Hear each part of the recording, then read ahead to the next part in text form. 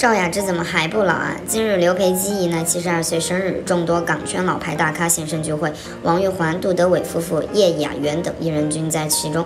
赵雅芝也罕见带着老公现身，黄景生穿着一身黑色西装亮相，气场不减当年。光是看照片就能感受到聚会热闹非凡呢。